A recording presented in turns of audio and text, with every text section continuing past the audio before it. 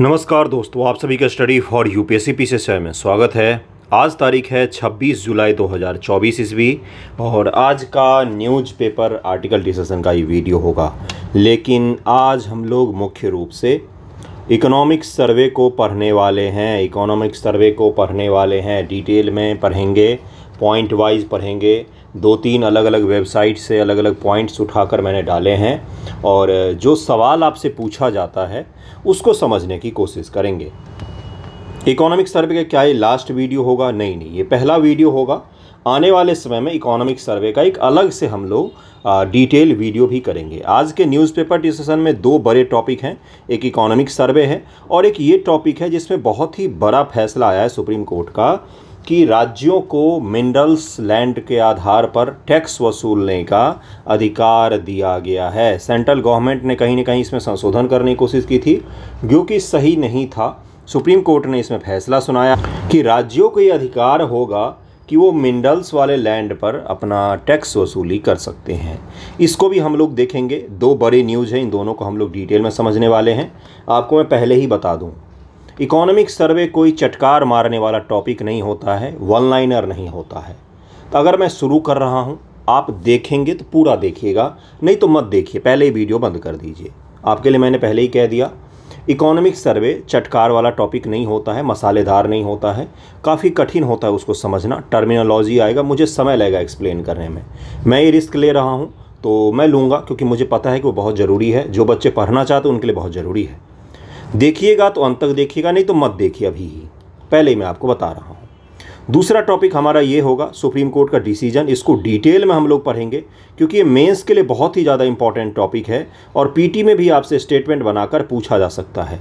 1957 का एक्ट जो है, उसी के बारे में पूछा जा सकता है। कौन सा एक्ट था भाई? मिनरल्स और minerals development and regulation act 1957 उन्नीस सौ नेहरू जी के समय पारित किया गया था ये एक्ट इसको भी हम लोग देखेंगे आज डिटेल में। तो दोनों टॉपिक डिटेल होगा और दो ही आज सबसे बड़ा टॉपिक ही होगा मुख्य रूप से। इकोनॉमिक सर्वे इसलिए किसी और न्यूज़ को मैंने शामिल नहीं किया है। चलिए शुरू करते हैं, देखते हैं कि क्या है। एग्ज़ाम को लेकर एक अपडेट आया है। कल भी बीपीएससी के चेयरमैन ने प्रेस कॉन्फ्रेंस किया। मात्र सौ सीटों की उनके पास में अभी तक वैकेंसी आ पाई है। क्यों नहीं आई है? आरक्षण के कारण से रोस्टर ही नहीं बन पा रहा है। तो जिन विभागों के पास में पाँच सीट छः सीट, सात सीट थे, उन सभी ने अपना अपना वैकेंसी बीपीएससी को भेज दिया। लेकिन जैसे सौ सीट एस डी एम के बड़े स्तर पर सीटें होती हैं डी वाई एस पी की बहुत ज़्यादा सीटें होती हैं, और भी कई सारे ऐसे विभाग हैं जिनमें काफ़ी ज़्यादा सीटें होती हैं, उन सभी ने अपना रोस्टर फिर से खारिज कर दिया, उन्होंने अपना सीट नहीं भेजा, जो कि पहले भेज दिया था। सुप्रीम कोर्ट का हाई कोर्ट का फैसला आने के बाद से उन्होंने अपना रोस्टर खारिज कर दिया है और अपने सीटों की संख्या फिर से वापस ले ली है। नए सिरे से रोस्टर तैयार होगा, तब जाके वो आयोग को भेजेंगे। तो कल आयोग के चेयरमैन ने बोला है कि हमारे पास में अभी विज्ञप्ति नहीं आई है। जब आएगी तो हम उसको लेकर एग्ज़ाम कंडक्ट करवाने की कोशिश करेंगे। उम्मीद कम है कि 30 सितंबर को एग्ज़ाम होगा, लेकिन एग्ज़ाम तो होगा ही, ये तो तय ही है। ज़्यादा से ज़्यादा तीस अक्टूबर जाएगा, नहीं तो ठीक है भाई, नवंबर में पहले सप्ताह में होगा। होगा तो ज़रूर ही, और टॉपिक तो पूछे ही जाएँगे। तो पढ़ते रहिए, तैयारी करते रहिए। तीस सितंबर को सौ सीटों से ज़्यादा अच्छा है कि भाई हफ़्ता दस दिन, बीस दिन लेट होकर सीटें अच्छी खासी आएँ, ताकि आपके मेहनत का परिणाम कुछ निकल पाए। सौ सीटें में आप क्या फ़ाइट करेंगे? ये चीज़ होता है। ये रियलिस्टिक बातें हैं। कभी भी इमोशनल नहीं होना चाहिए एक ही आएगा तो हमें तो एक ही सीट से मतलब है। ये सब कहने की बातें होती हैं। पीटी का कटअप आसमान छुएगा मेंस का कटअप भी आसमान छुएगा। तो वहाँ पर कंपटीशन बहुत ज़्यादा हो जाता है और सामान्य स्टेट पे सीएस वाले बच्चे पिछड़ जाते हैं। यूपीएससी वाले सारे आ जाते हैं। तो इसलिए ध्यान रखिएगा इस चीज़ को। और जी जान लगाकर पढ़िएगा, एग्ज़ाम आगे जा रहा है तो कट ऑफ़ निश्चित तौर पर आगे जाएगा। ये अभी ही मैं कह रहा हूँ। चलिए देखते हैं कि क्या है इकोनॉमिक सर्वे। देखिए, किसके द्वारा जारी किया गया तो सबसे घटिया वाले पी सी इन्हीं का नाम पूछ लेंगे। केंद्रीय वित्त मंत्री के द्वारा जारी किया गया तेईस चौबीस में। राष्ट्रपति के बिना पर जारी किया जाता है। यूपीएससी ने इस बार खेला किया कि प्रधानमंत्री की तरफ़ से वित्त मंत्री महोदय के द्वारा बजट को संसद प्रस्तुत किया जाता है। ये स्टेटमेंट डाल दिया था उसने। यूपीएससी पीटी का सवाल है, पहले वाले लाइन से। ठीक है? राष्ट्रपति की तरफ़ से, राष्ट्रपति की तरफ़ से जो वित्त मंत्री महोदय होती हैं, वो इस बार संसद में उन्होंने बजट को पेश किया है। यह भारत के आर्थिक प्रदर्शन और इकोनॉमिक सर्वे को भी वो रखती हैं। आर्थिक प्रदर्शन भविष्य की संभावनाओं का एक व्यापक दृष्टिकोण प्रस्तुत करता है। आर्थिक सर्वेक्षण में दरअसल में होता क्या है? इकोनॉमिक सर्वे में तीन चीज़ें होती हैं। पहला होता है कि भविष्य में हम क्या क्या करने वाले हैं। कौन कौन सी कठिनाई आने वाली है भारतीय इकोनॉमी के सामने में और किस प्रकार से हम उसको हैंडल करने वाले हैं? दूसरा होता है, विगत वर्षों में हमने क्या क्या प्राप्त किया है क्या क्या अचीव किया है, किस दिशा में हम आगे बढ़े हैं? तीसरा होता है वर्तमान जो ईयर है, इसमें हम क्या क्या टारगेट लेकर चल रहे हैं? यानी कि एक इकोनॉमिक ईयर पहले, एक इकोनॉमिक ईयर अभी और एक इकोनॉमिक ईयर आगे। इन तीनों का लेखा जोखा मूल रूप से होता है। भविष्य की कुछ बातें होती हैं, जिसको आपको मेंस एग्जामिनेशन में आंसर राइटिंग में इंक्लूड करना पड़ेगा कि हमने ये लक्ष्य रखा है, हमने ये प्राप्त किया है, हमारे सामने ये कठिनाई है। जैसे निर्मला सीतारमन जी ने जो सदन में जो इकोनॉमिक सर्वे, सदन में तो नहीं, जो अलग अलग प्लेटफॉर्म बातचीत इसको लेकर चल रही, उस बातचीत का भी हिस्सा बना कीजिए, देखा कीजिए, पढ़ा कीजिए, सुना कीजिए उन चीज़ों को। भारतीय इकोनॉमी के समक्ष उन्होंने कई सारे चुनौतियाँ गिनाई हैं। इकोनॉमिक सर्वे में। इकोनॉमिक सर्वे तैयार किसके द्वारा किया जाता है? तो भारत के जो इकोनॉमिक एडवाइज़र होता है, उसके द्वारा तैयार किया जाता है। इसमें उन्होंने सबसे पहले स्थान पर रखा है इनक्वालिटी को, असमानता को सबसे पहले स्थान पर रखा है। दूसरा, पॉवर्टी, अभी भी समस्या बनी हुई है। तीसरा, जॉबलेस ग्रोथ कर रहे हैं हम। चौथा, उन्होंने एक चीज़ बताया कि एआई या टेक्नोलॉजी परिवर्तन के कारण से भी जॉब जा रहा है। पांचवा उन्होंने बताया कि असंगठित क्षेत्र जो हैं, ये आज भी सबसे बड़ी चैलेंज है हमारी इकोनॉमी के लिए। अब यहाँ से सवाल शुरू होता है आपके मेंस एग्जामिनेशन का। आपसे मेंस एग्जामिनेशन में यही सवाल पूछा जा सकता है कि हाल के दिनों में भारतीय अर्थव्यवस्था के समक्ष कौन कौन सी चुनौतियाँ देखी गई हैं? आपके हिसाब से, आपके अनुसार से, आपके मतों के अनुसार से उसका क्या क्या समाधान हो सकता है? तो वहाँ पर अगर आप चुनौतियाँ बताते हैं तो एक चुनौती बताने वाले वो तीस मार्क आएँगे जो हवा हवाई बातें करेंगे। एक आप होंगे जो बताएँगे कि इकोनॉमिक सर्वे तेईस चौबीस के हिसाब से भारतीय अर्थव्यवस्था के समक्ष प्रमुख चुनौतियाँ गिनाई गई हैं, जिनमें से निम्नलिखित हैं, पहला, दूसरा, तीसरा, चौथा, पाँचवा। इस प्रकार से तैयारी किया जाता है। इसीलिए आपको पता होगा कि यूपीएससी एस्पिरेंट जो होते हैं, वो इकोनॉमिक्स के दोनों, इकोनॉमिक सर्वे के दोनों भाग को लेकर लाइन बाय लाइन पढ़ना होता है। हमने लाइन बाय लाइन पढ़ी है। लाइब्रेरी में बैठकर दस दस घंटे इकोनॉमिक सर्वे पढ़ा, लाइन बाय लाइन। अपने ज़माने में जब हमने पढ़ा था तब। तो ये आपको मैं क्या कह रहा हूँ कि इकोनॉमिक सर्वे इसलिए बेहद आवश्यक होता है। आपके मेंस एग्जामिनेशन में इकोनॉमिक्स से कम सवाल आते हैं, इसलिए आप ओवरव्यू लीजिए, फिर भी मैं आपको एक और वीडियो प्रोवाइड करवाऊँगा। लेकिन जिनको यूपीएससी देना है, वो तो काफ़ी डीप में जाकर पढ़ेंगे। परिचय क्या होता है? देखिए, आर्थिक सर्वेक्षण अर्थव्यवस्था की स्थिति की समीक्षा करने के लिए केंद्रीय बजट से पहले सरकार के द्वारा प्रस्तुत किया जाने वाला एक वार्षिक दस्तावेज़ है। दस्तावेज़ है जिसमें भारत सरकार गवर्नमेंट ऑफ़ इंडिया अपनी तरफ़ से कुछ आंकड़ों को, कुछ डेटा को, कुछ चुनौतियों को, कुछ समाधानों को पेश करती है, कुछ भविष्य के लक्ष्यों को भी पेश करती है। इससे मुख्य आर्थिक सलाहकार वर्तमान में वी. अनंत नागेश्वरन की देखरेख में वित्त मंत्रालय में आर्थिक कार्य विभाग, इस विभाग का नाम ध्यान में रखिएगा, पीटी के लिए इंपॉर्टेंट है, कि आर्थिक प्रभाग द्वारा तैयार किया जाता है, इसे केंद्रीय वित्त मंत्री द्वारा संसद के दोनों सदनों में पेश किया जाता है। किसके द्वारा पेश किया जाता है? प्रधानमंत्री के द्वारा इकोनॉमिक एडवाइजर के द्वारा केंद्रीय वित्त मंत्री के द्वारा पीटी का फैक्ट दिख रहा है आपको तो केंद्रीय वित्त मंत्री के द्वारा किया जाता है।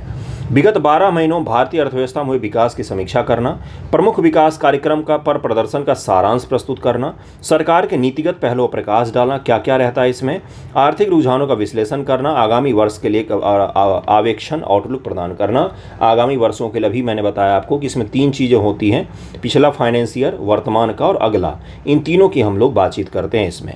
ऐतिहासिक संदर्भ पहली बार उन्नीस सौ इक्यावन में प्रस्तुत किया गया था। यह बजट दस्तावेज़ का ही हिस्सा होता था। पहले ये उन्नीस में से एक अलग खंड बना दिया गया था। इतना ध्यान में ज़रूर रखिएगा। 1950-51 में ये पहली बार पेश किया गया था। सत्र तेईस, चौबीस की आर्थिक सर्वेक्षण से मुख्य निष्कर्ष क्या है? तो अर्थव्यवस्था की वर्तमान स्थिति के बारे में क्या क्या कहा गया? अब यहाँ से फैक्ट देखिएगा। ये जो परसेंटेज आपको दिख रहे हैं छोटे छोटे ये आपको पिछली बार आपके 69 बीपीएससी के पेपर में भी दिखे होंगे। और वहाँ पर दिखते ही आपको बुखार लग रहा होगा कि ये क्या पूछ दिया? आज तक तो कभी पूछा ही नहीं था। इसलिए इसको ध्यान से पढ़िएगा। वित्त वर्ष दो हज़ार चौबीस में भारत की वास्तविक जीडीपी में आठ दशमलव दो परसेंट की वृद्धि हुई है। जो वित्त वर्ष चौबीस की चार तिमाहियों में से तीन में आठ परसेंट के आंकड़े को पार कर गई है। यानी कि हमारी जो इकोनॉमी है, उसका रियल जीडीपी का जो ग्रोथ है, वो काफ़ी अच्छा है और सही दिशा में हमारी वृद्धि है। ध्यान से देखिएगा कॉन्सेप्ट पर ध्यान दीजिए, वृद्धि है। ग्रोथ की बात कर रहे हैं हम लोग, ना कि डेवलपमेंट की। इसीलिए जो दूसरा पक्ष आप देखते हैं कि भारतीय इकोनॉमी के सामने चैलेंजेज तो उसमें जो इनक्वालिटी आपको दिखता है, असमानता दिखता है, चाहे गरीबी दिखता है, चाहे जॉबलेस इकोनॉमी दिखती है ये क्यों दिखता है? क्योंकि हम ग्रोथ कर रहे हैं। डेवलपमेंट में अभी हम थोड़े से पीछे हैं। ठीक है? दोनों पक्षों को मैं साथ में लेकर चलूँगा ताकि आप क्लियर व्यू रखें। खुदरा मुद्रा स्फीति। मुद्रा स्फीति पता होगा आपको मार्केट में एक तरीके से सामान्य भाषा में बोला जाए तो महँगाई। ठीक है? या फिर कैश जो होता है लिक्विडिटी इसका फ्लो बहुत ज़्यादा हो जाएगा तो क्या हो जाएगा? उसके डिवेल्युएसन हो जाएगा। है ना? खुदरा मुद्रा मुद्रास्फीति वित्त वर्ष दो हज़ार तेईस में छः दशमलव सात परसेंट से घटकर चौबीस में पाँच दशमलव चार परसेंट हो गई है। चालू खाता घाटा, जो हम विदेश से खरीदते, बेचते हैं तो हमारा घाटा होता है ना चालू खाता, पूंजी खाता तो चालू खाता घाटा करेंट अकाउंट डेफिसिट वित्त वर्ष दो हज़ार तेईस में दो परसेंट से बढ़कर चौबीस में जीडीपी का ज़ीरो दशमलव सात परसेंट हो गया है। कर राजस्व की बात करें, यहाँ से बीपीएससी ने सवाल पूछा था। प्रत्यक्ष करों ने कुल कर राजस्व का 55 परसेंट योगदान दिया है, जबकि अप्रत्यक्ष करों ने 45 परसेंट का योगदान दिया है। जो सरकार के ऊपर में बार बार आरोप लगते हैं कि आप डायरेक्ट टैक्सेशन हद से ज़्यादा कर रहे हैं तो वहाँ पर आपको समझ में आ रहा है कि क्यों ये आरोप लगता है? क्योंकि भारत में अब डायरेक्ट टैक्स का जो हिस्सा है, टोटल राजस्व में, वो पचपन परसेंट हो गया है। और जो इनडायरेक्ट टैक्स का हिस्सा है, वो कितना है? पैंतालीस परसेंट हो गया है। ये चीज़ समझ में आ गया आपको? आपसे यही स्टेटमेंट बनाकर पूछा जा सकता है कि भारतीय अर्थव्यवस्था में कर राजस्व में इनडायरेक्ट टैक्सेज की अप्रत्यक्ष करों की हिस्सेदारी जो है, वो बढ़ गई है और वो बढ़कर पचपन परसेंट हो गई है। क्या इस प्रकार के स्टेटमेंट नहीं बनाए जा सकते हैं? बिल्कुल बनाए जा सकते हैं। तो ध्यान में रखिएगा, हमारे इकॉनमी में जो डायरेक्ट आप टैक्स देते हैं, जैसे नौकरी पेशा वाले देते हैं, उनकी संख्या अभी भी ज़्यादा है। वैल्यू वैल्यू के हिसाब से वॉल्यूम के हिसाब से देखेंगे तो। पूंजीगत व्यय सरकार ने पूंजीगत व्यय में उत्तरोत्तर वृद्धि की है और इक्यासी दशमलव चार करोड़ लोगों को निःशुल्क खाद्यान्न उपलब्ध करवाया है। भारत सरकार ने अपना जो कैपिटल एक्सपेंडिचर है, भारत सरकार का, उसको बढ़ाया है और लोगों को सुख सुविधाएँ दी हैं, खाद्यान्न दिया है, जिससे देश के लोगों के अंदर कुपोषण कम हो सके। अब आपको दिख रहा है कि भारत को इक्यासी दशमलव चार करोड़ लोगों को हमारी अगर 140 करोड़ की जनसंख्या है, बंधुओं तो इसका आप कर लीजिए कितना परसेंट हो गया ये? उतने करोड़ भारतीयों को, भारत सरकार को अन्न देना पड़ रहा है, ये इकोनॉमिक सर्वे में ही बताया गया है। मौद्रिक प्रबंधन और वित्तीय मध्यस्थता, स्थिरता के मुख्य शब्द मौद्रिक नीति, जो मॉनेटरी पॉलिसी होती है आरबीआई ने पूरे वित्त वर्ष दो हज़ार चौबीस में साढ़े छः परसेंट पर स्थित नीति रेपो रेट को बनाए रखा है, जो पॉलिसी वाला रेपो रेट होता है, वो अभी भी कितना पर बना हुआ है तो साढ़े छः परसेंट पर बना हुआ है, और पूरे इकोनॉमिक ईयर में एक भी बार इसको आरबीआई ने चेंज नहीं किया।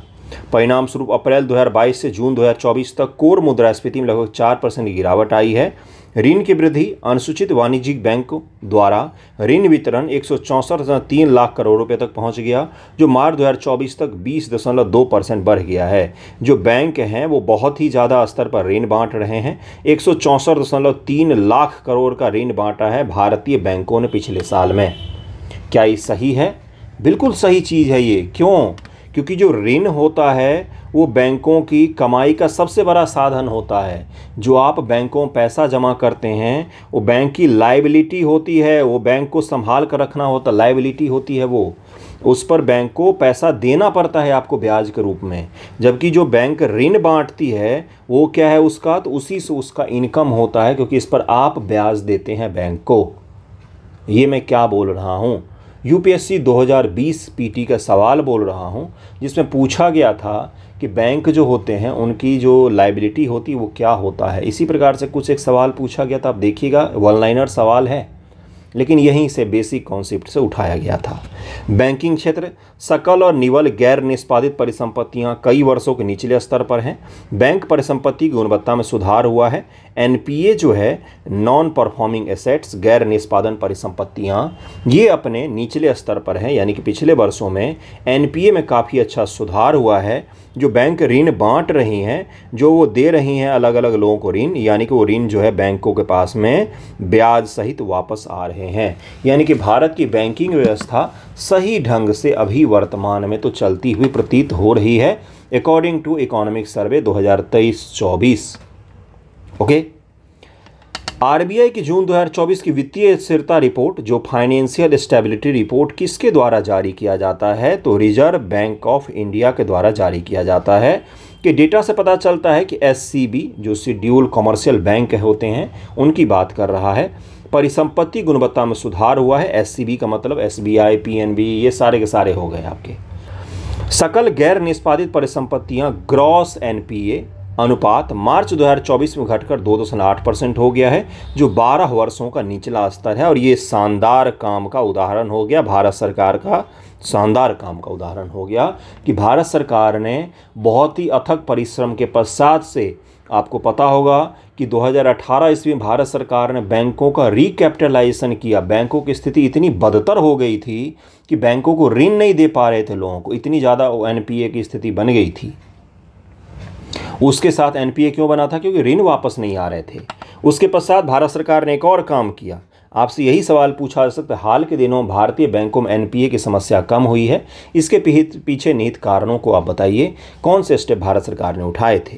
इसमें एक हो गया रिकैपिटलाइजेशन भारत सरकार ने किया था 2018 में, जिसे पुनः पूंजीकरण किया था। बैंकों को अस्सी हज़ार, नब्बे हज़ार करोड़ रुपये दिए थे भारत सरकार ने खर्चा करने के लिए। दूसरा, बैंकों को क्या किया गया? तो जोड़ा गया। आपने देखा होगा, विलय किया गया। Dena bank, Allahabad bank, Canada bank, इन सब का विलय करके भारत में बड़े बड़े बैंक अब बनाए गए हैं।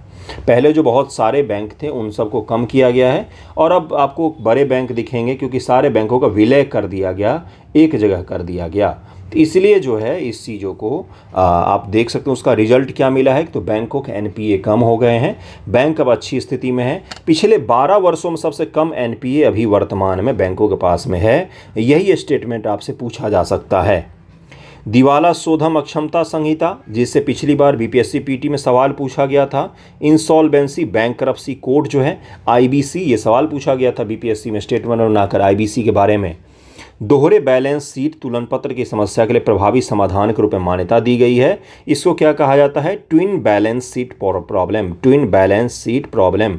अब ये क्या होता है? जैसे बैंक का नाम है ए। इसने ऋण दिया बी नामक व्यापारी को। बैंक के भी जो बी नामक व्यापारी है डिफ़ॉल्ट घोषित हो गया। डिफ़ॉल्ट का मतलब हम अब ऋण चुका नहीं पाएँगे। तो इसका तो बैलेंस शीट बिगड़ा ही, साथ में बैंक का भी बैलेंस शीट बिगड़ गया। यानी कि इसके कारण से ये भी गया और बैंक के कारण से व्यापारी भी गया। दोनों एक दूसरे में फंस कर रह जाते। इसको ट्विन बैलेंस शीट प्रॉब्लम कहा जाता है। इसमें भी कमी देखी गई है क्योंकि आईबीसी के माध्यम से हम नीलाम होने वाले चीज़ों को बैंक होने वाले संस्थाओं को हम क्या कर रहे हैं? तो उसका समाधान ढूंढ रहे हैं और ये शानदार काम हो रहा है। पिछले वर्ष 8 मार्च 2024 तक तेरह दशमलव नौ लाख करोड़ रुपए के मूल्य वाले इकतीस हज़ार तीन सौ चौरानवे कॉरपोरेट देनदारों का निपटान किया गया है। तेरह दशमलव नौ लाख रुपया उन संस्थाओं से निकाले गए हैं जो बैंक करप्ट हो गए थे।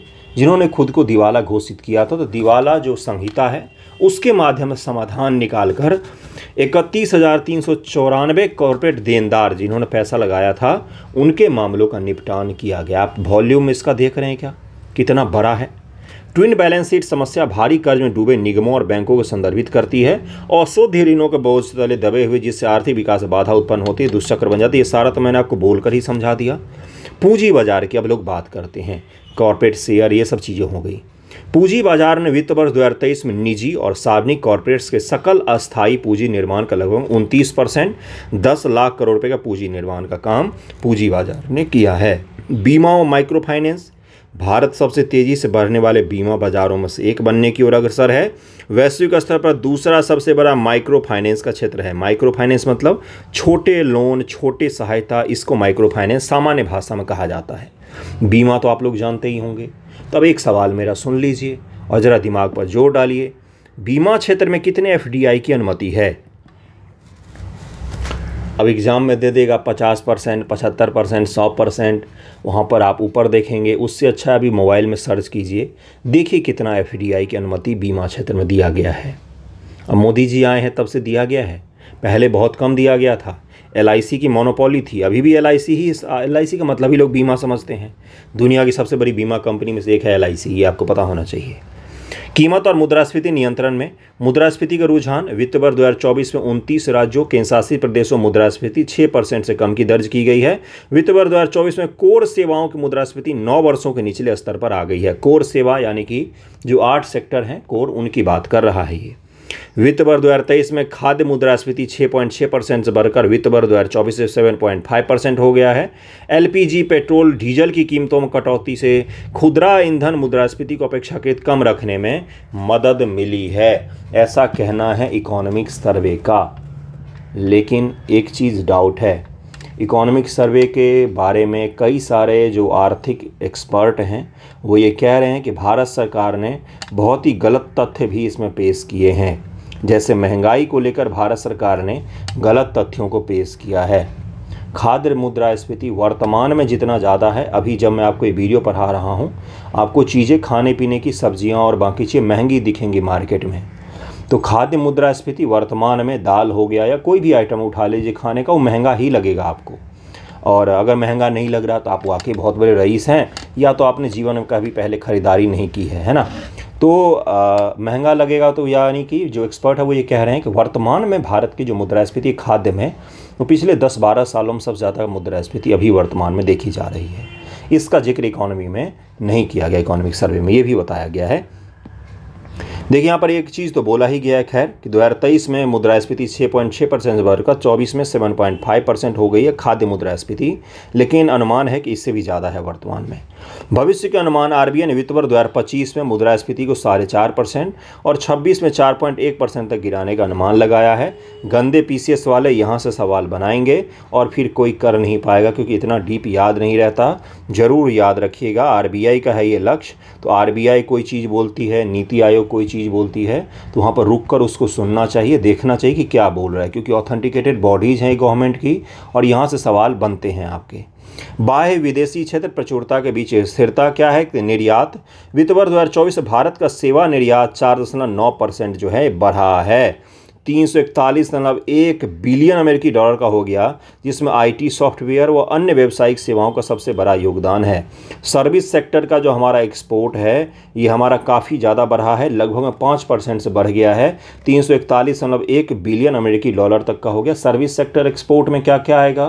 तो टर्सरी सेक्टर में क्या क्या आता है? आईटी इंडस्ट्री आ गया, या फिर बीपीओ कॉल सेंटर्स आ गए, या तो पर्यटन आ गया। ये सब सर्विस एक्सपोर्ट में होता है। और भी जैसे टीचिंग का उद्योग आप ले लीजिए, कोई भी आप चीज़िए जिसमें सर्विस आपको मिलता है, वो सब के सब सर्विस सेक्टर में ही आते हैं।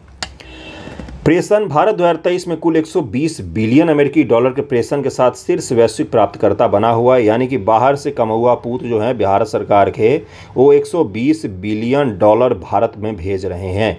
दुनिया में सर्वाधिक रूप से हम प्रेषण, बाहर से पैसा रिमिन जो प्राप्त कर रहे हैं, वो दुनिया में सर्वाधिक है, हमसे ऊपर कोई नहीं है।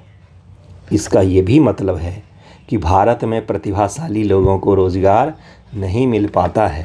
फिर वो लोग ब्रिटेन, अमेरिका, कनाडा और यूरोप और यूएई और अरेबियन देशों में रहते हैं। वहाँ कमाते, वहाँ से पैसा भेजते हैं। इसका ये भी मतलब है, दोनों मतलब है इसका, ठीक है?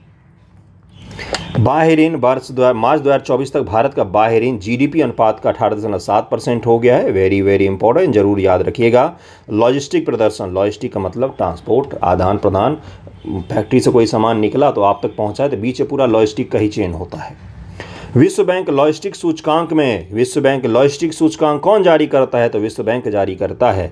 भारत की रैंक दो हज़ार चौदह में चौवालीस स्थान से बढ़कर 2023 में अड़तीसवें स्थान पर पहुँच गई है। पिछले दस सालों में हम कितने स्थान तक आ गए? छः रैंक हमने कम कर लिया। शाबाशी मिलनी चाहिए। तो अड़तीसवें स्थान पर हम पहुँच गए। क्या ये और अच्छा नहीं होना चाहिए? बिल्कुल अच्छा होना चाहिए था। पर्यटन पर्यटन को लेकर रैंकिंग कौन जारी करता है? तो वर्ल्ड इकोनॉमिक फोरम जारी करता है। लॉजिस्टिक को लेकर वर्ल्ड बैंक जारी करता है। फाइनेंशियल स्टेबिलिटी को लेकर आरबीआई जारी करता है। रिपोर्ट, सारे रिपोर्ट को भी आप पढ़ना चाहिए, पता होना चाहिए भाई। ये तो सवाल पूछा जाता है मेंस में आपका। नीति आयोग का भी एक लॉजिस्टिक रैंकिंग आता है। तो नीति आयोग के लॉजिस्टिक रैंकिंग से बीपीएससी ने मेंस में सवाल पूछ लिया शॉर्ट आंसर में कि बताओ गुरु, क्या होता है? क्या रहा प्रदर्शन? किन किन मानकों पर जारी किया जाता है? अभी बचवा सब तो पढ़ा ही नहीं कभी तो कहाँ से याद रहेगा? नीति आयोग लॉजिस्टिक रैंकिंग क्या होता है? मैं पढ़ाऊँ तो पढ़ेंगे नहीं। देखिए अगला क्या है, पर्यटन में क्या रहा? विश्व पर्यटन प्राप्तियों भारत की हिस्सेदारी दो हज़ार इक्कीस में एक दशमलव तीन आठ परसेंट बढ़कर दो में एक दशमलव पाँच आठ परसेंट हो गया। अब ये क्या है? दुनिया भर में पर्यटन में अगर सौ रुपये का कारोबार हुआ है तो डेढ़ रुपया भारत को मिला है। दुनिया भर में क्षेत्रफल के हिसाब से कौन से नंबर के देश हैं हम? पर्यटन में हमारी इतनी कम हिस्सेदारी क्यों है? अभी भी हम पर्यटन में काम नहीं कर पाए हैं। हाँ लेकिन ग्रोथ ज़रूर हुआ है। भारतीय पर्यटकों की संख्या में आने में ग्रोथ देखी गई है। मध्यम अवधि का दृष्टिकोण नए भारत के लिए विकास की रणनीति।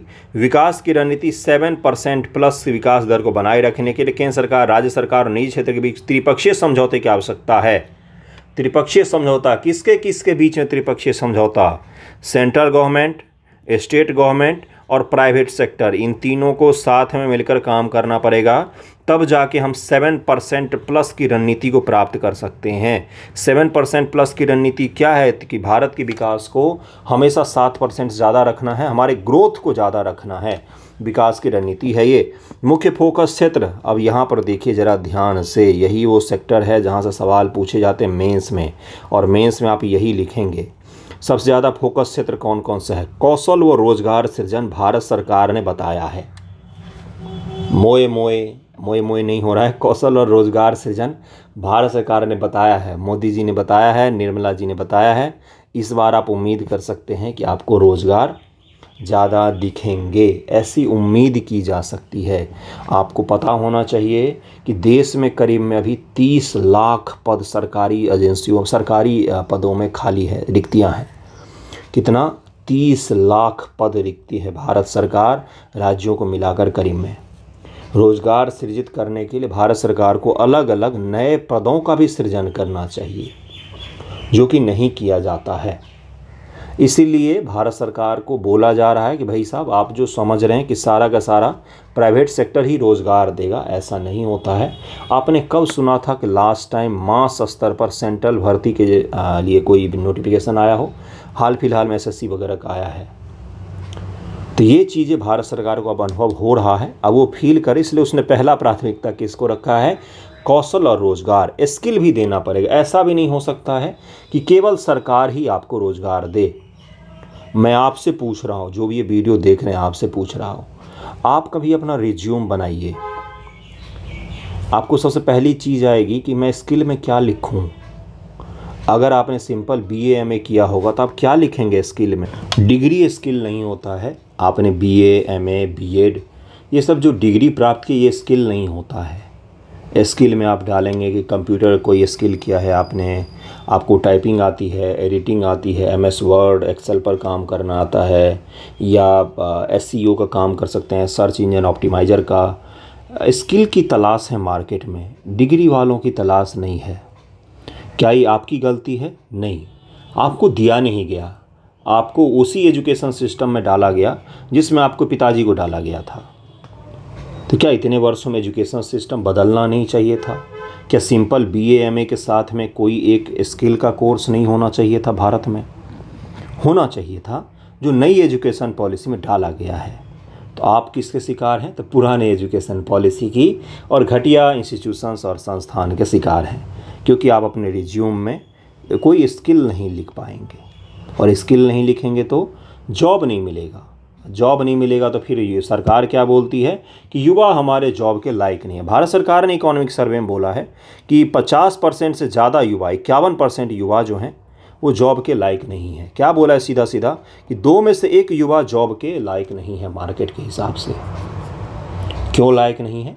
क्योंकि कंपनियों को इतिहास, भूगोल, नागरिक पढ़ने वाले लोग नहीं चाहिए। उनको चाहिए टेक्निकल चीज़ों को जानने वाले लोग, उनके लिए काम करने वाले लोग चाहिए। ठीक है? तो ये है इसमें पहला इसमें यही फोकस क्षेत्र है। कृषि है दूसरा दूसरा है एग्रीकल्चर दूसरा हो गया एग्रीकल्चर पहला हो गया ये। तीसरा एमएसएमई हो गया एमएसएमई चुनौतियों को कम करना। हरित ऊर्जा संक्रमण यानी कि ग्रीन एनर्जी ट्रांजेक्शन फ़ेज़ से गुजर रहा है तो हमें एनर्जी को ग्रीन की तरफ़ में संक वो करना है आ, ले जाना है। शिक्षा रोज़गार अंतर को समाप्त करना है। फिर से उसी की बात कर रहा है जिसकी बात मैंने अभी की कि आपकी गलती नहीं है आपको उसी एजुकेशन सिस्टम में डाला गया था, जिसमें आपके पिताजी को डाला गया था। इतने वर्षों में 20-25 वर्षों में कोई बदलाव नहीं आना चाहिए था क्या? दुनिया कहाँ से कहाँ चली गई? लेकिन आपने उसी एजुकेशन सिस्टम को तो इसको क्या कहते हैं कि शिक्षा और रोज़गार में अंतर को हमें बांटना पड़ेगा कि जो रोज़गार चाहिए, हम उसी की शिक्षा देंगे। इंजीनियरिंग कॉलेज से प्लेसमेंट क्यों होते हैं? अगर इंजीनियरिंग कॉलेज के जो स्किल सिखाए जाते हैं, वो अगर आपको सिखा दिया जाए तो आपकी नौकरी लग जाएगी, क्योंकि कंपनियाँ तो डिग्री देखती ही नहीं आजकल। वो बीटेक बी ए कुछ नहीं देखती है। आप गूगल में भी जॉब कर सकते हैं। गूगल में वेबसाइट पर जाएँगे तो जॉब एप्लीकेशन के लिए सिंपल सा चीज़ रहता है bachelor degree from any university in the world no matter आपने बीए किया हो बीकॉम किया है, बस उसको स्किल फिर आगे बढ़ेंगे तो आपसे स्किल पूछेगा, फिर वो आपका टेस्ट रहेगा स्किल का। तो मैं क्या बता रहा हूँ? स्किल की आवश्यकता है। शिक्षा और रोज़गार के बीच में जो गैप आ गया है, उसको हमें पाटने की आवश्यकता है। इसको ज़रा समझिएगा। इस पर पूरा पूरा निबंध और सवाल पूछा जा सकता है। आपसे हद से ज़्यादा चर्चा में है ये। जलवायु परिवर्तन, ऊर्जा संक्रमण, समझौताकारी समन्वय से निपटना, नवीकरणीय ऊर्जा मई 2024 तक गैर जीवाश्म स्रोतों की स्थापित विद्युत ऊर्जा उत्पादन क्षमता में पैंतालीस परसेंट की हिस्सेदारी रही है। ऊर्जा आवश्यकताएँ, भारत की ऊर्जा आवश्यकताएँ वर्ष दो सैंतालीस तक दो से दो पॉइंट पाँच गुना बढ़ने का अनुमान है।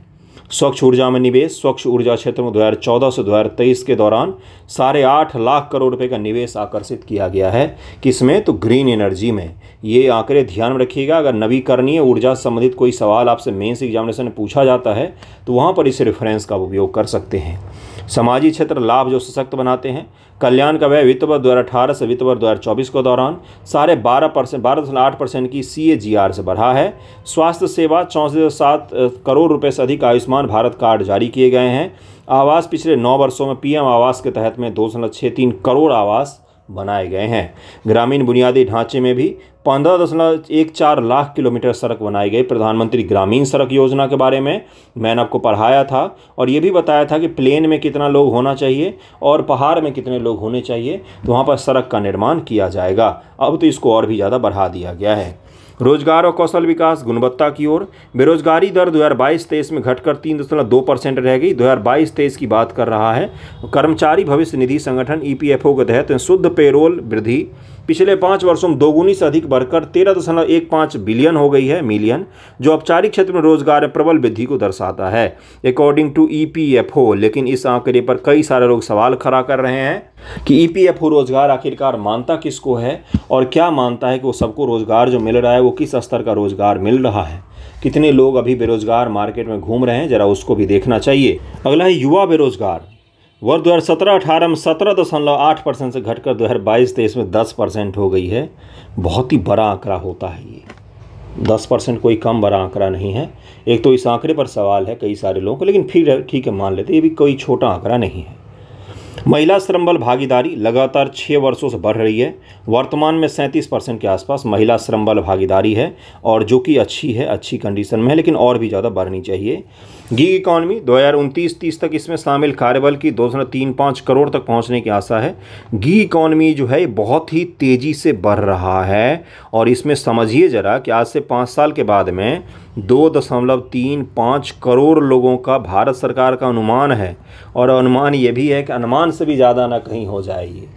गीग इकॉनमी का तात्पर्य है कि जो ठेका पर या छोटे मोटे कमीशन पर काम करते हैं, जो स्थिर जॉब नहीं होता है, परमानेंट नहीं होता है।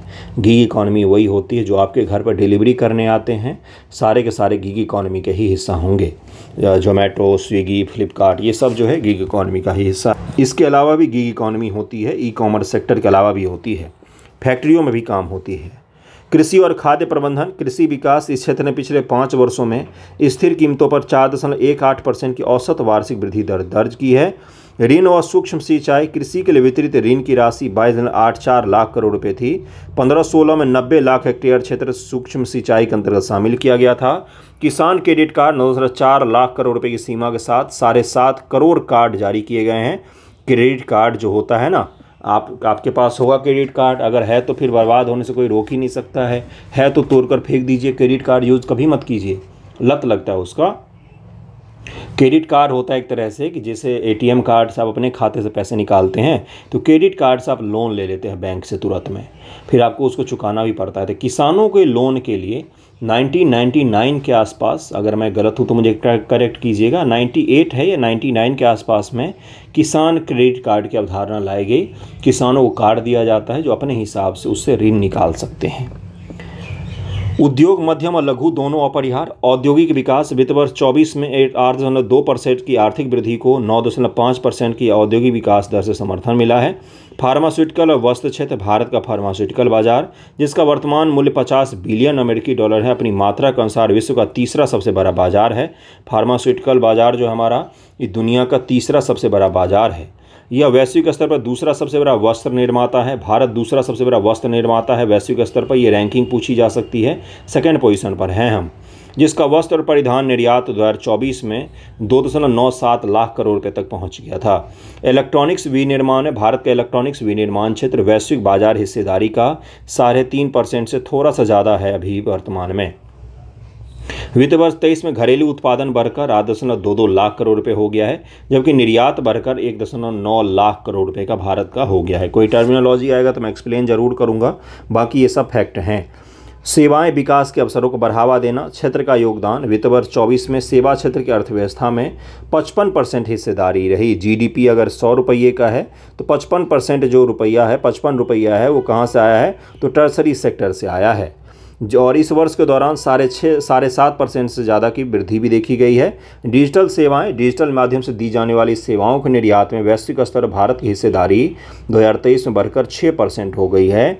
दुनिया में अगर कहीं पर डिजिटल स्तर पर कोई सर्विस प्रोवाइड करवाया जाता है तो उसमें से हर छठा सर्विस जो होगा, वो हमारा ही होगा। वैश्विक स्तर भारत का सेवा निर्यात वित्त वर्ष दो बाईस में विश्व के वाणिज्यिक सेवा निर्यात का चार दशमलव चार प्रतिशत था और वित्त वर्ष चौबीस में भारत के कुल निर्यात का चौवालीस परसेंट बना हुआ है। इसको ज़रूर ध्यान में रखिएगा, ये इंपॉर्टेंट होगा आपके लिए। विमानन 2024 में कुल हवाई यात्रियों की संख्या में 15 प्रतिशत की वार्षिक वृद्धि हो रही है। भारत में विमानन उद्योग जो है बहुत ही ज़्यादा बूम कर रहा है। क्यों बूम कर रहा है? क्योंकि भारत में लोग विमान में अब ज़्यादा सफ़र कर पा रहे हैं। आय भी थोड़ी सी बढ़ी है। और विमानों की कनेक्टिविटी भी भारत बढ़ी है। लेकिन क्वालिटी अभी भी बहुत ज़्यादा ख़राब होता है। समय पर नहीं होते हैं, खासतौर से बिहार के विमान एक भी समय पर नहीं जाते हैं। ई वाणिज्य, भारत के ई वाणिज्य उद्योग का वित्त वर्ष दो हज़ार तीस तक 350 अरब अमेरिकी डॉलर पार कर जाने की उम्मीद की जा रही है। ई कॉमर्स का जो सेक्टर है हमारा, वो 2030 तक 350 अरब अमेरिकी डॉलर को पार पार कर जाएगा। और जैसे जैसे ई कॉमर्स बढ़ेगा तो गिग इकॉनमी भी बढ़ेगी गिग इकॉनमी भी बढ़ेगी। स्टार्टअप्स भारत में टेक्नोलॉजी संबंधी स्टार्टअप 2014 में लगभग में 2000 थे, जो 2023 में इकतीस हज़ार स्टार्टअप हैं। और इसका श्रेय सबसे बड़ा जाना चाहिए मोदी जी को। मैं उनको बहुत ज़्यादा क्रिटिसाइज भी करता हूँ, आपको पता होगा। लेकिन जहाँ पर सही है, वहाँ पर वास्तविक रूप से सही है।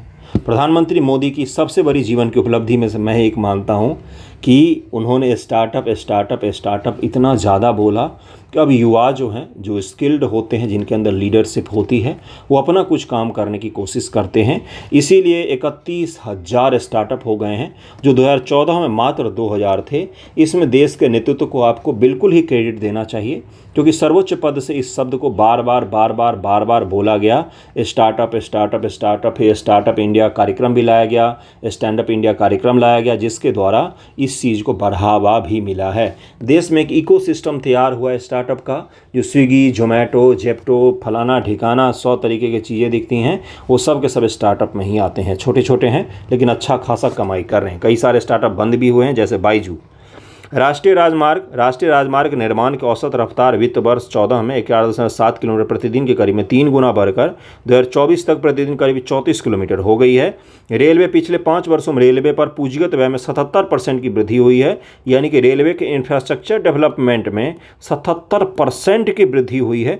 भारत सरकार काफ़ी हद तक खर्चा कर रही है, लेकिन सेफ्टी मेजर को लेकर अभी भी बहुत कम खर्चा कर रही है। दिखावे वाले कामों में ज़्यादा खर्चा कर रही है ये भी सही बात है, क्योंकि जो सामान सामान्य ट्रेन, जिसमें सभी लोग मैक्सिमम मास जो चढ़ते हैं, उस ट्रेनों में कोई खास सुविधा नहीं दिया गया है। उन रूट पर कोई काम नहीं किया गया है।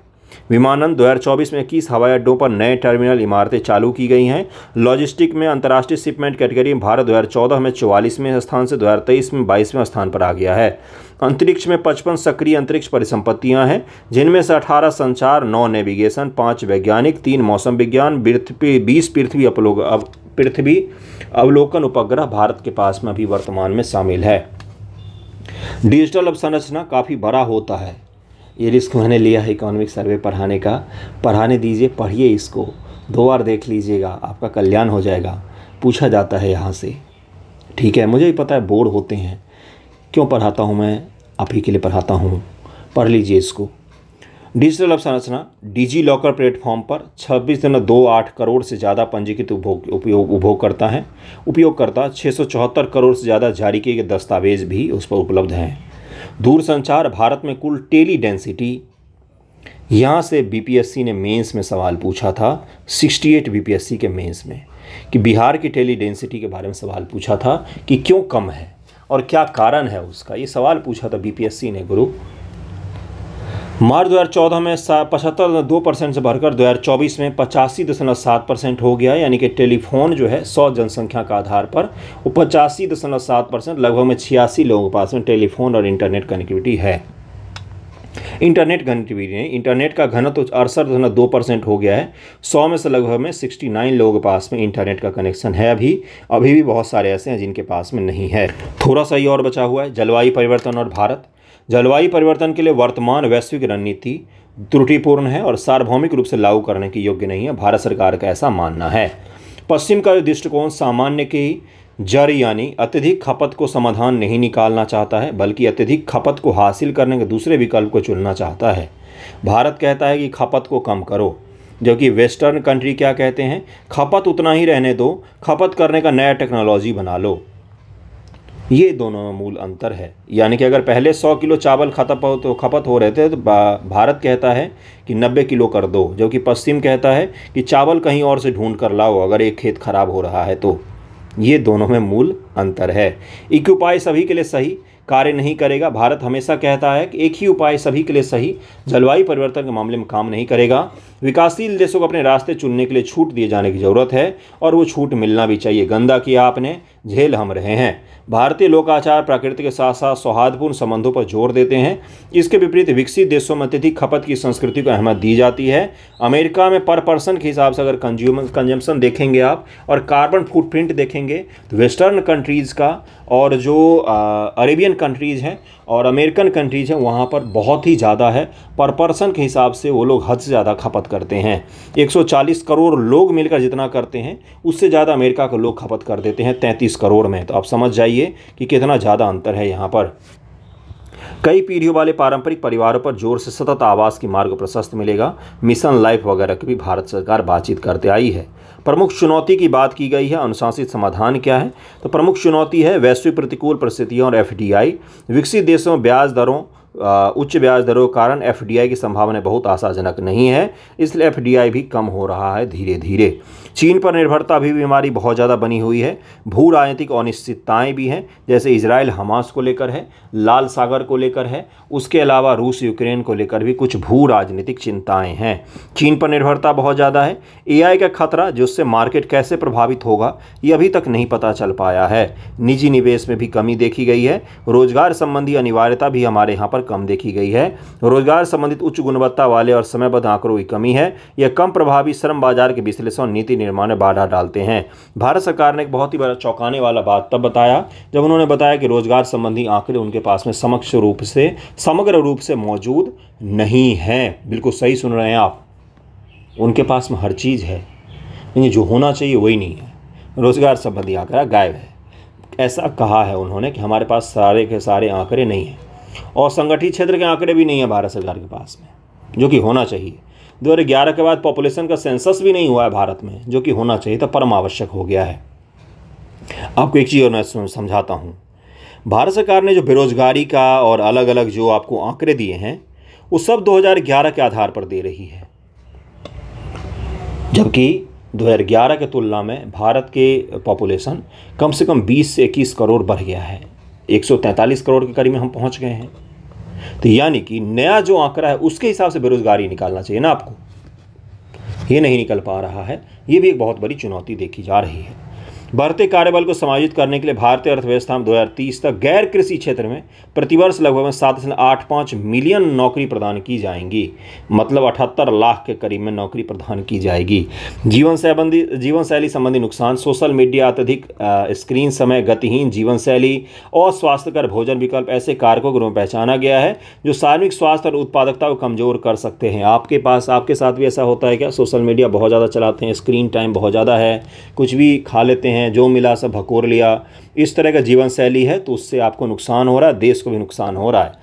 अनुशासित समाधान, निजी क्षेत्रों द्वारा रोज़गार सृजन, निजी क्षेत्र द्वारा जीवन शैली में परिवर्तन, सारा निजी शैली, निजी क्षेत्र ही करेगी। सरकार को कुछ नहीं करना है। कृषि क्षेत्र को पुनर्जीवित करना, विनियामक बाधाओं को दूर करना पड़ेगा हमें, प्रशासनिक सुदृढ़ीकरण करना पड़ेगा, तब जाके हम आगे बढ़ सकते हैं। समाधान भी है, इकोनॉमिक सर्वे के अकॉर्डिंग, और समस्या भी बताया है मैंने पूरा का पूरा।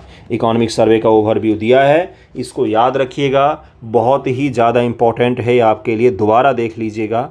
अपने शब्दों में अच्छे से एक्सप्लेन करने की कोशिश की है। नेक्स्ट टॉपिक पर चलते हैं। नेक्स्ट टॉपिक जो है वो है खनिज अधिकारों पर, राज्यों द्वारा करारोपण शक्ति की स्वीकृति। हाल ही भारत के सर्वोच्च न्यायालय ने खनिज अधिकारों पर करारोपण से संबंधित एक महत्वपूर्ण मुद्दे विचार करते हुए 1989 के निर्णय को खारिज कर दिया और इस संबंध में राज्य की शक्ति की पुनः पुष्टि कर दी है। नौ न्यायाधीशों की पीठ द्वारा दिए गए इस निर्णय से स्पष्ट हो गया कि खनिज रॉयल्टी पर संसद और राज्यों के पास में कितना अधिकार होगा? आठ इस टू वन का दिया है, आठ लोगों ने राज्यों के पक्ष में दिया है, एक ने सेंटर के पक्ष में सर्वोच्च न्यायालय ने क्या निर्णय दिया? वर्ष नाइनटीन में सात न्यायाधीश के पीठ ने निर्णय सुना कि खान व खनिज विकास विनिमय अधिनियम उन्नीस संघ सूची की प्रविष्टि चौवन के तहत में खनन विनिमय पर केंद्र के प्राथमिक अधिकार हैं। राज्यों को केवल रॉयल्टी वसूलने की अनुमति थी, अतिरिक्त करारोपण की अनुमति राज्यों के पास में नहीं थी। अब भारत सरकार, सुप्रीम कोर्ट ने बोला है कि अनलिमिटेड अधिकार होंगे राज्यों के पास में कर वसूलने के। न्यायालय ने रॉयल्टी को कर के रूप वर्गीकृत किया, उन पर कोई भी उपकर राज्य के अधिकार क्षेत्र से बाहर था। 2004 में पाँच न्यायाधीशों की पीठ ने 1989 के इस निर्णय में मुद्रण संबंधी त्रुटि का सुझाव दिया, जिसमें संकेत दिया कि रॉयल्टी कोई कर नहीं है। इसके परिणाम स्वरूप मौजूदा नौ न्यायाधीशों की पीठ ने इस निर्णय की समीक्षा की है। वर्ष 1989 के निर्णय को खारिज किया। सर्वोच्च न्यायालय के नौ न्यायाधीशों की पीठ ने निर्णय सुनाया कि 1989 का निर्णय गलत था। इसमें खनिजों पर रॉयल्टी को M M D R A उन्नीस के तहत कर के रूप में पंजीकृत किया गया था। अब इसी को हम लोग देखने वाले हैं। M M D R A को देखने वाले हैं। राज्य बनाम केंद्रीय प्राधिकरण, वर्तमान में राज्यों को सुप्रीम कोर्ट ऑफ़ इंडिया ने बोला है कि आप कर वसूल कर सकते हैं, कहाँ से? तो माइन वगैरह से। न्यायालय ने इस पर तर्क ज़ोर दिया कि खनिज अधिकारों पर करारोपण की शक्ति पूरी तरह से राज्यों के पास में है, जबकि संसद केवल खनिज विकास बाधाओं को रोकने के लिए सीमा तय कर सकती है। इस निर्णय में स्पष्ट किया गया कि संसद को संविधान की सूची दो के प्रविष्ट पचास के अंतर्गत खनिज अधिकारों पर कर लगाने का अधिकार नहीं है, जो राज्यों की शक्तियों को नियंत्रित करती है तथा यह कर नहीं, बल्कि प्रतिबंध लगाने तक सीमित है। संसद राज्यों के खनिज अधिकार पर करारोपण तरीके पर प्रतिबंध लगा सकती है, लेकिन वह सीधे कर नहीं लगा सकती। ऐसा इसलिए किया जाता है ताकि यह सुनिश्चित किया जा सके कि खनिज विकास में बाधा न आए, यानी कि संसद रोक लगा सकती है, लेकिन कर नहीं लगा सकती। कर केवल और केवल राज्य सरकार ही लगाएँगे। असहमतिपूर्ण राय चेतावनी दी गई कि राज्यों को खनिज अधिकार पर करारोपण की अनुमति देने से सूची दो के प्रवेश उनचास के अंतर्गत भूमि भवनों पर भी करारोपण का प्रयास किया जा सकता है जिससे संघीय प्रणाली ध्वस्त हो जाएगी और खनिज मूल्य निर्धारण विकास में एक रूपता समाप्त हो जाएगी। ये भी एक चुनौती भी इसमें देखी जा रही है। परिणाम स्वरूप राज्य पुनः खनिजों पर करारोपण शुरू कर देंगे, जिससे कानूनी और निश्चितता की स्थिति उत्पन्न होगी। भारत में धातु विकास सहित अन्य प्रतिकूल आर्थिक परिणाम सामने आएँगे। दरअसल में है क्या? बड़ी बड़ी जो कंपनियाँ हैं पी वो भारत भारत सरकार के पास में है और जो खान वगैरह हैं, उन पर कर लगाने की शक्ति राज्यों के पास में चली जाएगी। इससे क्या होगा? दाम अलग हो जाएँगे इसका और अलग अलग प्रकार के उस पर कर लगाए जा सकते हैं, जिससे एक अनिश्चितता की स्थिति भी बन सकती है। खनिज मूल्य निर्धारण विकास हितों में एक रूपता सुनिश्चित करने के तथा राज्यों को खनिज अधिकारों पर करारोपण से रोकने के लिए संसद को हस्तक्षेप करना होगा। रॉयल्टी और टैक्स में क्या अंतर है? दो हज़ार इक्कीस में भारत के सर्वोच्च न्यायालय ने रॉयल्टी और कर के बीच के अंतर को रेखांकित किया। रॉयल्टी या पार्टियों के बीच एक समझौते से उत्पन्न होती है। यह अनुदानकर्ता द्वारा प्राप्त अधिकारों और विशेषाधिकारों के लिए भुगतान किया गया मुआवजा होता है। रॉयल्टी भुगतान का अनुदान प्राप्तकर्ता को दिए गए लाभ या विशेषाधिकार के साथ में सीधा संबंध होता है, जबकि कर क्या होता है या करदाता को दिए गए किसी विशेष लाभ के संदर्भ में बिना एक वैधानिक शक्ति के तहत लगाया जाता है। कर और रॉयल्टी में फ़र्क होता है ये भी सुप्रीम कोर्ट ने समझा दिया था और ये बोला था कि कर कर होता है, रॉयल्टी रॉयल्टी होता है। रॉयल्टी, जैसे आपने सुना होगा कि रॉयल्टी मांगा है, किसी एक्टर ने एक्ट्रेस ने, उनकी आवाज़ को इस्तेमाल किया गया, उनके दृश्य को, उनके चित्रों को इस्तेमाल किया गया। तो ये सब चीज़ें उसी में आती हैं रॉयल्टी में, वो कर में नहीं आएँगे ओके उदाहरण के लिए न्यायालय ने हिंगूर, रामपुर, कोल कंपनी लिमिटेड बनाम, उड़ीसा राज्य उन्नीस पश्चिम बंगाल राज्य बनाम, कोसोराम इंडस्ट्री लिमिटेड 2004 अन्य कई मामलों पर संदर्भ देते हुए स्थापित किया कि रॉयल्टी प्रत्यक्ष लाभ के साथ संविधात्मक दायित्व तो होता है। कर क्या होता है? इसे कानून द्वारा लागू किया जाता है। इसके लिए करदाता की सहमति की आवश्यकता नहीं होती है। कर आपसे पूछ कर नहीं लगाया जाएगा, जबकि रॉयल्टी कई बार सहमति के पश्चात दोनों के बीच में समझौता का परिणाम होता है रॉयल्टी। कर सार्वजनिक उद्देश्य के लिए लगाए जाते हैं, लेकिन करदाता का कोई विशेष लाभ नहीं होता। ये सभी नागरिकों द्वारा वहन किए जाने वाले सामान्य बोझ का ही हिस्सा होते हैं। रॉयल्टी के विपरीत करों से कोई लेना देना व्यवस्था का शामिल नहीं होता है। भुगतान अनिवार्य है या किसी विशेषाधिकार या लाभ से जुड़ा हुआ नहीं होता। अब जो एक्ट था 1957 का वो क्या था? यह भारत में खनन क्षेत्र को नियंत्रित करने वाला एक महत्वपूर्ण कानून है। आज़ादी के पश्चात इसको बनाया गया था। खनिज क्षेत्र में उभरती जरूरतों, चुनौतियों को उजागर करने के लिए इस अधिनियम में कई संशोधन किए गए, ताकि राष्ट्रीय आर्थिक और सुरक्षा हितों को ध्यान में रखा जा सके। प्राथमिक उद्देश्य खनन उद्योग का विकास करना, खनिज संरक्षण सुनिश्चित करना, खनिज दोहन में पारदर्शिता, दक्षता को लाना, इसका उद्देश्य था। वर्तमान में भी यही है। दो हज़ार पंद्रह में संशोधन नीलामी पद्धति आवंटन पारदर्शिता बढ़ाने के लिए खनिज रियायतों की अनिवार्यता अनिवार्य नीलामी कर दिया गया। जिला खनिज फाउंडेशन बनाया गया। राष्ट्रीय खनिज अन्वेषण ट्रस्ट बनाया गया। अवैध खनन के लिए दंड भी इसमें लागू किए गए थे 2015 के पश्चात से। 2016-2020 में संशोधन हुआ। इस क्षेत्र के सुचारू संचालन को सुनिश्चित करने के लिए विशिष्ट समुदाय पर ध्यान दिया गया था। विशिष्ट मुद्दों पर ध्यान दिया गया था। 2021 में फिर से संशोधन किया गया। कैप्टिव और मर्चेंट खाद्यान्न, इस प्रकार के खाद्यान्नों के बीच के अंतर को हटा दिया गया है। कैप्टिव खाद्यान्नों का संचालन कंपनी द्वारा विशेष रूप से अपने स्वयं के उपयोग के लिए खनिजों का उत्पादन करने हेतु किया जाता है। कैप्टिव खाद्यान्नों से निकाले गए खनिज अंतिम उपयोग संयंत्र के संपूर्ण आवश्यकता को पूरा करने के बाद अपने वार्षिक खनिज उत्पादन का पचास परसेंट तक खुले बाज़ार में बेच सकते हैं, जिसके लिए सरकार के द्वारा मूल रूप से खनिज ब्लॉक आवंटित किया गया है। मान लीजिए रिलायंस ने किसी खनिज के खान को लिया, वहाँ से वो तेल निकाल रही है, अपनी ज़रूरत को पूरा करने के बाद पचास परसेंट तेल वो मार्केट में बेच सकती है। मर्चेंट खाद्यान्नों का संचालन खुले बाज़ार बिक्री के लिए खनिजों को उत्पादन करने के लिए किया जाता है। निकाले गए खनिजों के विभिन्न खरीदारों को बेचा जाता है, जिनमें से उद्योग भी शामिल है, जिनके पास अपनी खाद्यान्नें नहीं होती हैं। 2023 में इसे संशोधन किया गया और इसका उद्देश्य यही रखा गया था कि महत्वपूर्ण खनन अगर है कोई चीज़ में तो उसमें अलग अलग कंपनियों के, दुनिया के अलग अलग कंपनियों को भी शामिल किया जाए। मुख्य रूप से इसका उद्देश्य यही था दो हज़ार तेईस के संशोधन का। अभी जो हाल में सुप्रीम कोर्ट ने फैसला दिया है, उसके तहत ये कर दिया है कि राज्यों को ये अधिकार होगा कि वो यहाँ से कर की वसूली कर सकते हैं। इसको ज़रूर ध्यान में रखिएगा। जो अलग अलग एक्ट मैंने पढ़ाया, उसको ध्यान में रखिएगा। इतने सारे संशोधन को ध्यान में रखने की आवश्यकता नहीं है आपको। जो एक्ट था, उसको ध्यान में रखिएगा। प्रावधान उसके मैंने आपको पढ़ाए हैं। वर्तमान का फैसला भी पढ़ाया है। इकोनॉमिक सर्वे भी पढ़ाया है। थैंक यू सो मच आप सभी का।